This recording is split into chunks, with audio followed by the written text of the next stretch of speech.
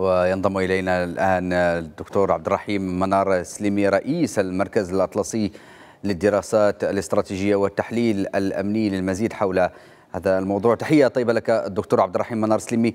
بداية فالمملكة المغربية دعت إلى عقد اجتماع طارئ لمجلس الجامعة العربية على مستوى وزراء الخارجية للتشاور والتنسيق بشأن تدهور الأوضاع في قطاع غزة. ما هي قراءتكم لهذه الخطوة؟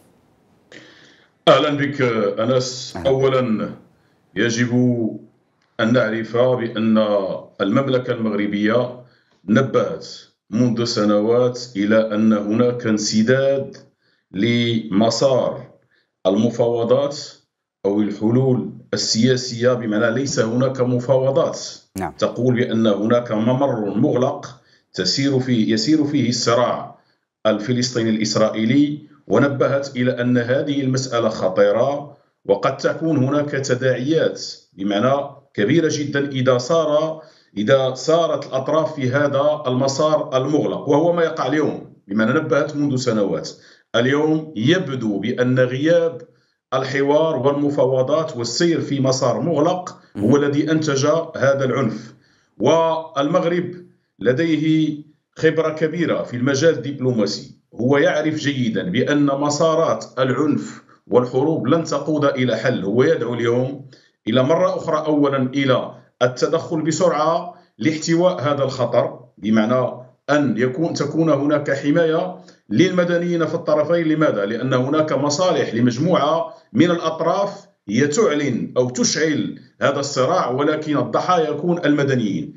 ثم انه المغرب كان واضحا منذ البداية يقول بأن الحوار على أساس الشرعية الدولية ومبدأ حل الدولتين. والمبدأ حل الدولتين لا يمكن أن نسير إليه بالحروب بين الفلسطينيين والإسرائيليين. اليوم هناك صعود لتيارين متشددين في الطرفين وهو ما يشرح ما يجري اليوم. اذا هناك دعوة بمعنى دعوة لاجتماع طارئ. المغرب يقوم بدوره نعم. ويدعو إلى اجتماع طارئ لجامعه الدول العربية. لماذا؟ لأن جامعه الدول العربية منذ بداية الصراع دائما ظلت هي الم... هي المكان الذي تجتمع فيه الدول العربية لتنسق وتضغط على المجتمع الدولي وتتشاور مع الأمم المتحدة وتكون هناك مبادرات عربية لحل هذه الأزمة. اليوم الوضع هو خطير جدا. هناك الآن نلاحظ بأن الطرف الإسرائيلي يدعو يقول بأن هنا حرب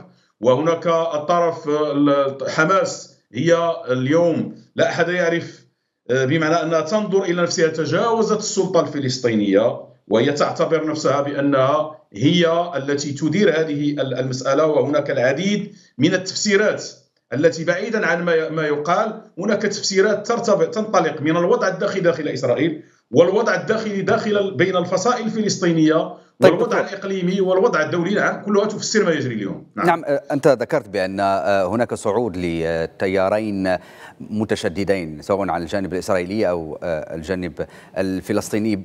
لكن في الواقع برأيك هل نحن أمام تحول استراتيجي على مستوى الميدان؟ فهذه العملية تعد عملية غير مسبوقة. وكيف ترون وقع هذا التحول الميداني على الجانب السياسي دكتور منار؟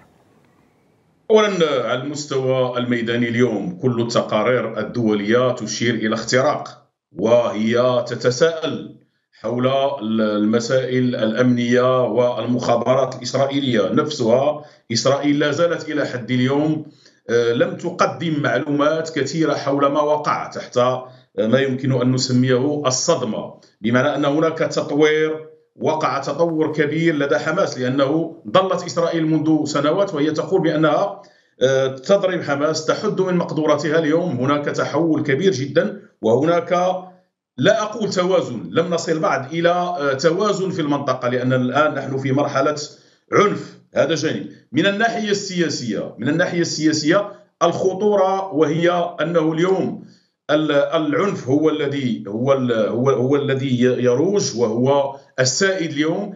كيف سيكون هناك نقاش سياسي إذا لم تكن مبادرات مثل ما دعا إليه المغرب على مستوى جامعة الدول العربية؟ إذا لم يكن هناك ضغط من طرف الأمم المتحدة وإذا لم تكن هناك عودة مثلا للسلطة الفلسطينية إلى الواجهه لأنه اليوم مثلا السلطة الفلسطينية هي المحاور لإسرائيل. ولكن حتى داخل إسرائيل هناك مشكل. هناك طرف متشدد الكثير يحمله المسؤولية. لماذا؟ لأنه طرف لا يؤمن بالحوار يؤمن في العنف فقط. وقلت بأنه منذ سنة 2007 هناك غزة التي يعتبرها الكثير بأنها سجن كبير جدا. فيه الكثير من الفقراء أزيد من 60% عائلات فقيرة جدا. وهناك أطراف التي تروج خطابات ولكن لا تنتبه إلى حالة المدنيين. الوضع هو صعب جدا وهناك من يتحدث على إمكانية إذا تطورت الأمور. يعني ولم يكن هناك ضبط لها بالحلول. الدبلوماسية والتدخلات الدبلوماسية أن تتحول إلى حرب إقليمية كبيرة. لماذا؟ لأن هناك أطراف تريد باختصار دكتور هل هذا وارد؟ نعم. هل هل يمكن أن يمتد الأمر إلى حرب آه، إقليمية شاملة ربما تغير من معالم المنطقة باختصار لو سمحت؟ إذا إذا لم يكن هناك تدخلات دبلوماسية عاقلة في في الساعات المقبلة ولم يكن هناك اجتماع لجامعة الدول العربية واجتماع للأمم المتحدة هذه هي الحلول الموجودة في العالم لا ننسى هذه المسألة فقد تتطور وتنزلق الأمور إلى حرب إقليمية وهناك أطراف تستعد لهذه الحرب الإقليمية وهناك إشارات من بعض التصريحات التي تقول بأن هناك من يحرض آه، يحرض اتجاه هذه الحرب لأنه يستفيد منها والضحايا هم المدنيين في كل الأطراف. بمعنى مدنيين اليوم راهم يموتون في كل الأطراف. شكرا جزيلا لك دكتور عبد الرحيم منار سليمي رئيس المركز الأطلسي للدراسات الاستراتيجية والتحليل الأمني. كنت معنا مباشرة من الرباط. شكرا على كل هذه المعطيات.